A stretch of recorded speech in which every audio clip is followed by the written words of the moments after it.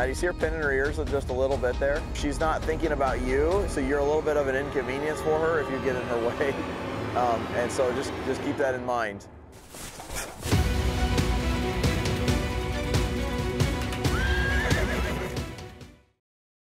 Hey everybody, welcome back. Today is day two with the Mustang taming here at the Florida Horse Protection Association, and we are going to get started with Lily, who was trying to kick everybody yesterday. So we're going to see if we can get her to not be kicking today. Let's get started.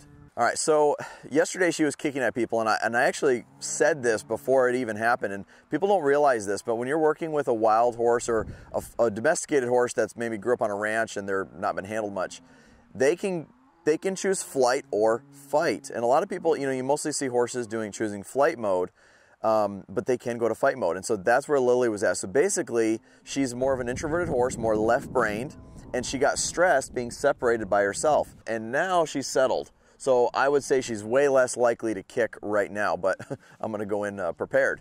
Now, what I'm going to try to do is I'm going to establish some leadership with her because that is very much what matters to this horse. We also observed trying to put another horse with her yesterday so that they could just stay settled overnight until we came back the next day. And she immediately was driving that horse around, going after it. I mean, like hard. We had to separate them again. Um, it was that bad. And they, they've lived together their whole lives. So this that was kind of strange, but that just shows you how, how, big of a priority it is for her of the dominant side of it. And, and you don't see that a lot. That's why I'm pointing this out. And so I'm going to go in there and I before I start working on getting her to be confident with me, I need to establish leadership. How do you do that with horses? You do that by owning space. So first I'm going to go in there and say, "This is my space and you can't drive me from it," which is what she was doing yesterday. Then I'm going to say, "Actually, by the way, I can move you out of your space." And that's again what makes me the alpha. She can go anywhere she wants, just not right there. Once we have that established, then we can continue on with building confidence and the taming side of it. So let's get into it here. So what I'm gonna do first is I'm just gonna move around here. You can see the ears kind of going back already. And I got two tools with me. I got the flag here because this, if she kind of comes at me with her head, this can be a really obvious flag. If she turns and tries to kick me, I could push her off probably by just using the flag, but I would rather try to touch her with the string, you know, and have her run into a little pressure there. And uh, yeah, again, that's that's horse language 101. She's tr- she's trying to kick, so basically I'm going to kick back a little bit if if it goes there. Now there she she she moved off of me. She you know I own my space, and now I'm to just go do that again. So I'm not taking her space right now. You see I'm on her bubble. You can see her ears coming back a little bit, and and she just would rather me not be here right now. and again, she's been the alpha horse in this herd for a while, and I think she's to come around pretty good to the taming, but she she has to first see the human as the leader and she just has not she's only had people feed and not ask her for anything else. And if you think about it when we feed horses most of the time we walk up to the fence we throw food over and then we leave. And if the horse comes up to us with our ear their ears back and then we leave and they think they drove us off. And this is this can be the start of a horse kind of being a bit dominant okay? So now i'm going to go own her space. I'm going to take the flag and I'm going to push her off that spot. Now you can kind of see uh, Petunia's here in the back, and uh, this is the one that I think is actually going to be the wildest. So stay tuned. We're gonna we're gonna work on her this afternoon. So now I'm going to go own Lily's space again. I'm going to walk her across the pen.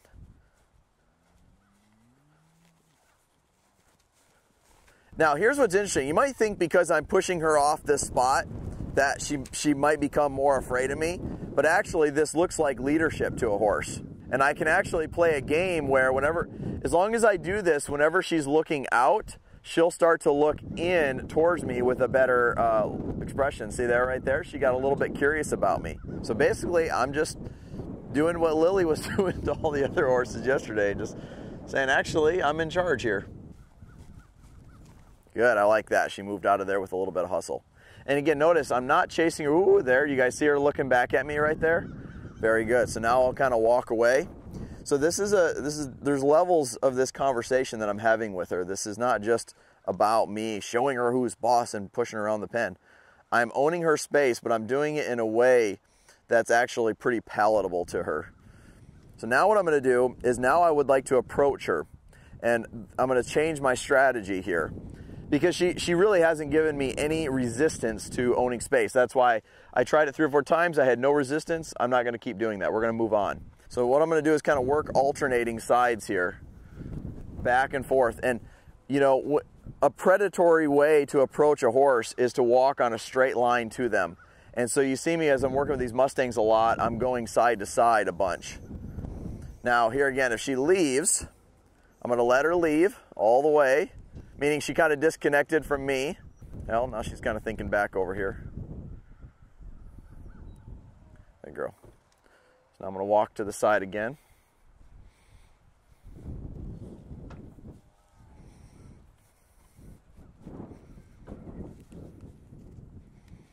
So she's turned away, so now I'm going to keep the pressure on until she stops. So now it's a new game.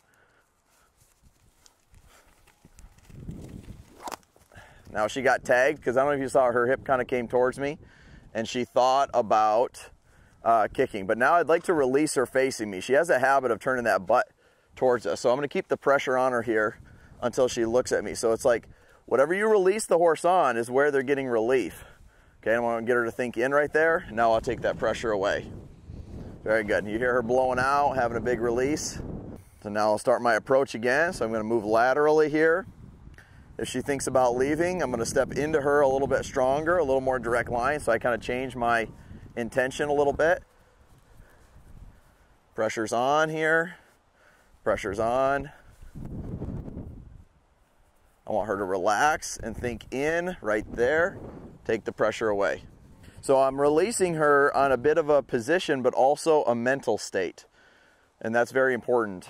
You can see she just looks a little more settled. You saw before she was in a little more of a worried state of mind, and that's when the pressure stayed on. And that's what's hard for a lot of people to see is that you, if you release the horse when they get worried, you're just teaching them that getting worried equals relief. And basically, this is what all about Mustang taming is: is teaching them to resist those those natural those instincts that are natural to a horse to, for survival.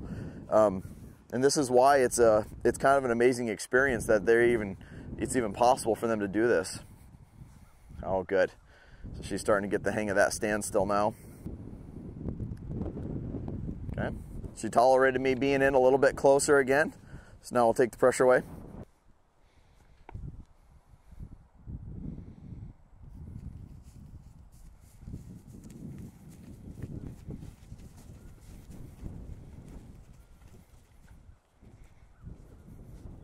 So this horse has been one of the most friendly in terms of being able to let us pet her and that sort of thing but while we were feeding her when it was on her terms.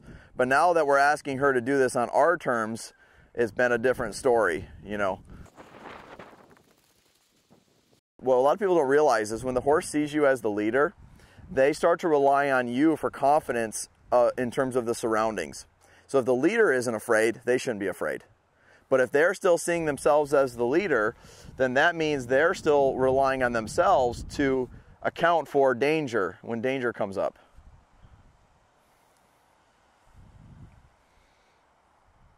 There we go. Good girl. Good girl. That's the Lily we know and love coming back out. So we prove to the horses that we are worthy leaders by not um, pushing them through their own thresholds, by always giving them room to make choices, but also by finding ways that we can ask them to yield their feet to us. And that combination of things is the recipe for building a horse's confidence and trust in us. Oh, now she's offering offering a little bit more. What a girl. Oh, now you like them scratches. She's like, okay, you can pet me here. I accept. I still don't trust her totally though. How about this side? Can I touch you on this side? Face? No, no face. So you can see it's like human nature is that we all love to pet their faces, uh, but you can see that she's not, she's not a big fan of, of the face. Okay. Good deal. So now we're going to put a rope on her. Part of the idea of becoming a good horseman is um, getting handy and being able to um, put a rope on them from a distance if you have to. I'm gonna we'll give this a try here.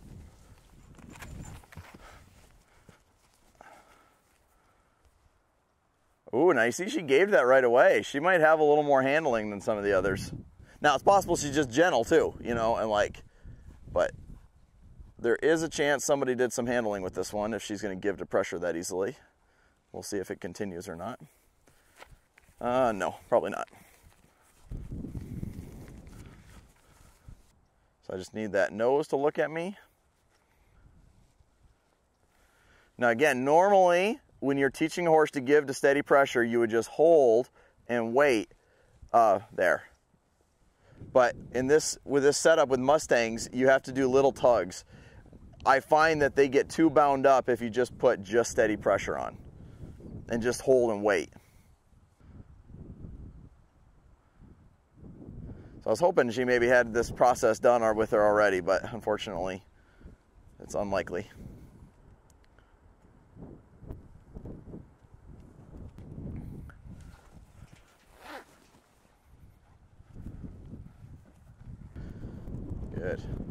Just kind of practicing walking back and forth and it's gonna, it's gonna be a combination of practicing getting her to yield and then being able to walk up and pet her. Just like what we accomplished yesterday. I'm really glad she decided not to kick at us today. I don't love that angle. I still don't totally trust her.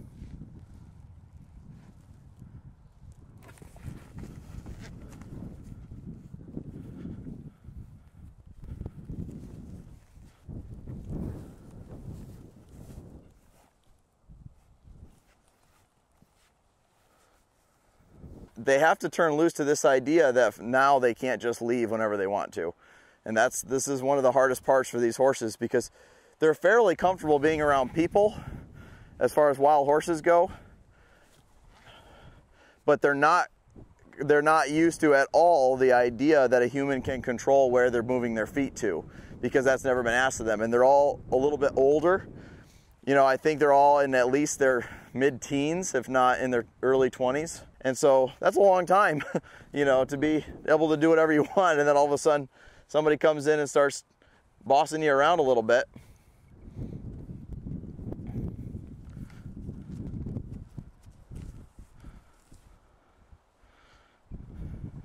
I think Lily's about ready for a for a halter. So basically, I will I want to put a halter on them as soon as possible. The lariat rope has its place initially, but it's the, the, the, this is a lot harder for them to choose to yield to than this once they get uh, comfortable. The trouble is it's really hard to get a halter on them until you can touch them all over.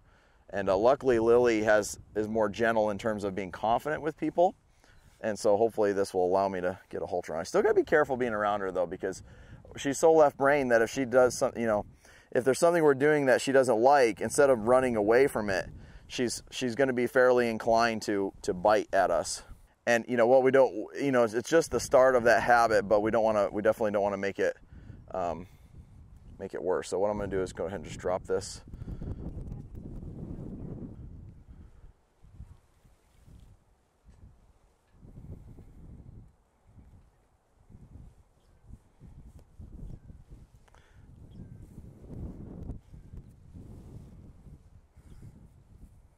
That's a good girl. So normally I would use a longer rope than this, but her flight zone is so short that I think it's fine. What you wouldn't want to have is where the rope is so short that they go to pull away that you lose connection with them, you know, and they pull a rope out of your hands. But I, I just don't think that's going to be an issue with her. So again, just because we got her halter doesn't mean she knows how to lead. and what's interesting too, um, and I think this is a really beneficial step for them, or maybe one of the most important steps actually, is a lot of like weanling horses that that are raised in people's barnyards. You know, we feed them and handle them a lot, and they get pretty confident with people, and they learn to follow us. And then it kind of looks like they know how to lead, but there's a difference between a horse like this that doesn't know to follow yet, but is learning to give to that halter. She'll understand following a feel at a more deep level than a horse that um, was just kind of following people. And so what I do is I just kind of circle those hindquarters until the front feet take a step like that. Just little tugs here again. I'm, I'm avoiding just pulling directly on it because I think that puts them in a little too much of a bind. Eventually we can do that, but for right now, just these little tugs just kind of keeps them usually this side of, of having those, those kind of big reaction moments.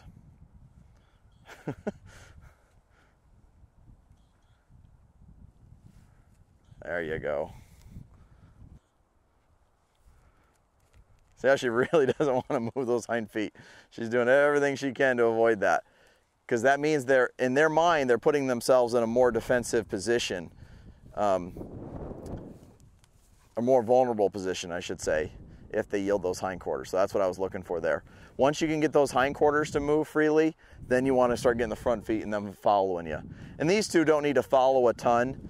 Um, those two will need to follow us a lot to help build confidence. So we'll do a lot of walking away from them. Um, these two just need some yields and then some, some pets.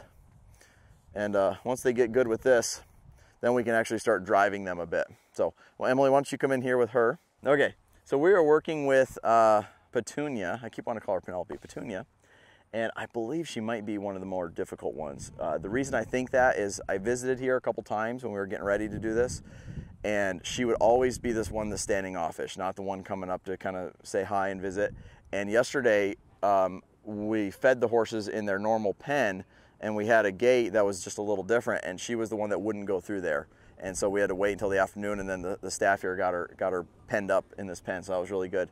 But she's been the most standoffish, and so I'm having a feeling that she's going to be a little difficult, but we'll see what we get. She also could just be.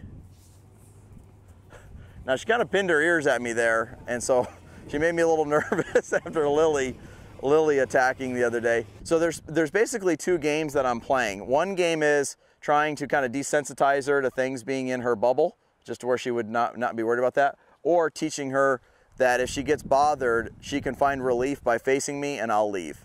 So those are kind of the two goals that I have. So I'll kind of take what I can get. So I'm very aware of the distance that I am from her and the distance that my stick is from her. So what I'll do is I'll work the stick in the air a little bit over them and then I'll put that away and then I'll just get a little closer and kind of alternate one or the other.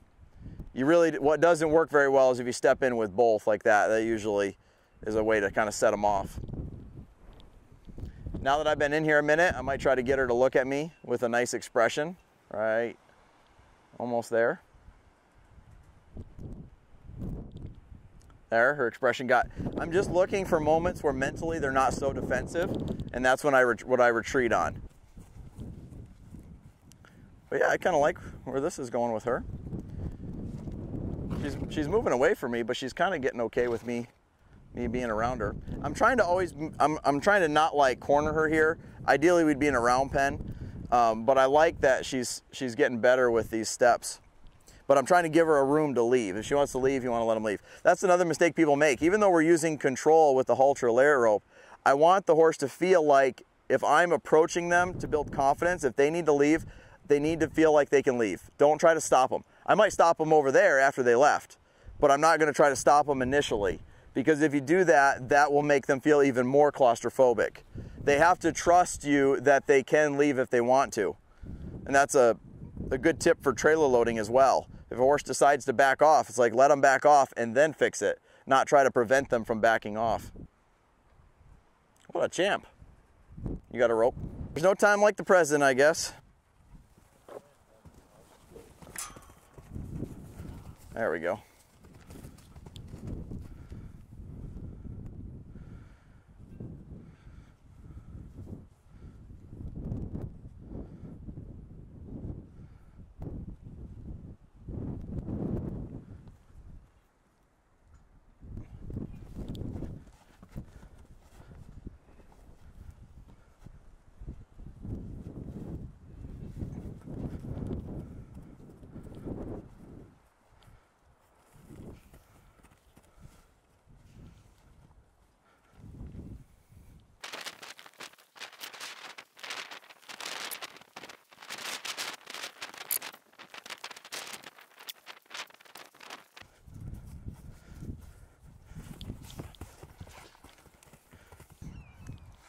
Whoa.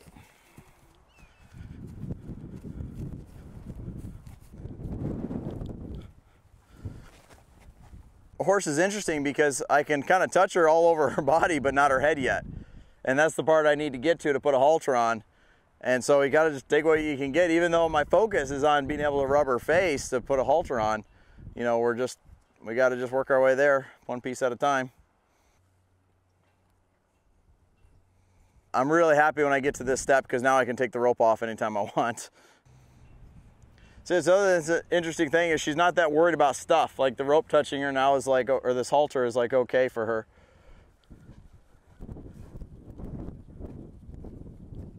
So I've switched out the lead rope uh, with this horse, and now we can operate off the halter. And the main thing I'm looking to accomplish with her is uh, is following a feel.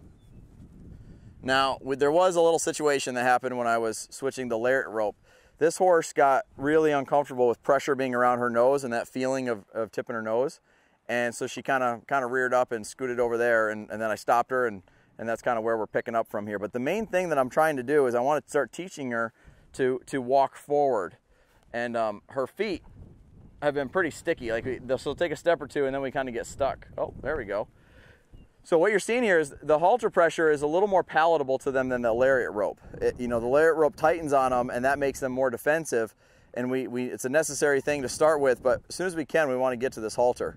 So I believe she understands following a feel now, but I don't think she really wants to follow the human. And so we're going to work on following the human.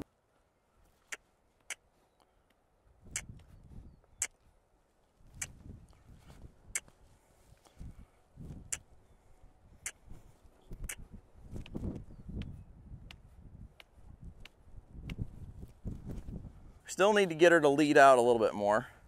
But for our first day with her here, this is pretty, pretty good progress.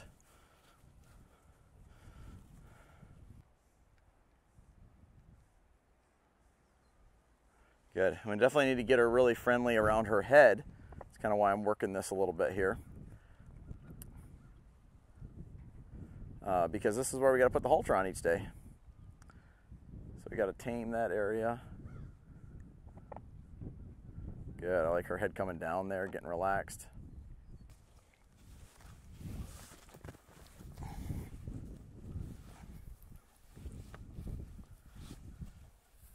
So what I'm doing now is I'm just practicing putting that halter on because that's one of the hardest steps and I'd really like to not have to use the lariat rope after today if it's possible.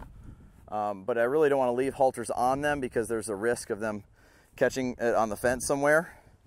So you can see. So I'm just going through the steps that I would do um, tomorrow. I'd walk up to her, you know. You know, of course I'd do some of the other stuff too, but this is one of the steps that we got to get to. And then I'll have her follow me again.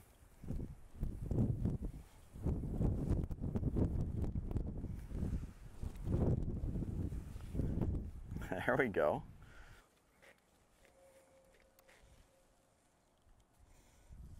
Girl, she's doing so good at that. Crazy, huh?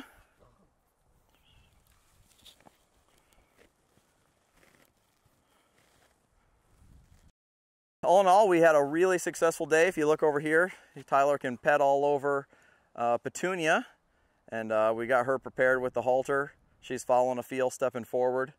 Um, Rose is playing hard to get right now, or Lily. Spank her, Emily. There you go. and uh, so yeah, there's still more work to do. So tune in for next time, and uh, we'll see. We'll show you guys where we finish up with Lily and see if she's still kicking at people or not. so folks now have got a chance to see the horses, and um, it's I, I hope other people appreciate what you guys are willing to do to help these horses. Um, you know, you guys are, are taking care of so many horses here and doing great things down here in Florida. Um, if people that are watching this video would like to help support what you guys are doing, how can they do that? Thank you for asking. They could go to our website, which is at www.hpaf.org, and they could go to our homepage and click on the Donate Now button. The donations help us not only pay for the feed and the hay and the farrier care and the veterinary bills, but they also help us pay for the training of these horses, which, as you know, is critical to their success in life. Yeah, absolutely. And that's a great thing to see that a rescue is not only taking care of the horses physically, but also when we invest um, into develop the training the horses, that makes them more desirable, where they no longer need to be in a, a rescue situation, and they can they can have a future absolutely. instead of just a past. Yes, absolutely. Awesome. So hopefully you guys are, are willing to get on board with this and uh, go and donate. We'll leave a link in the description below, and uh, we appreciate all your support.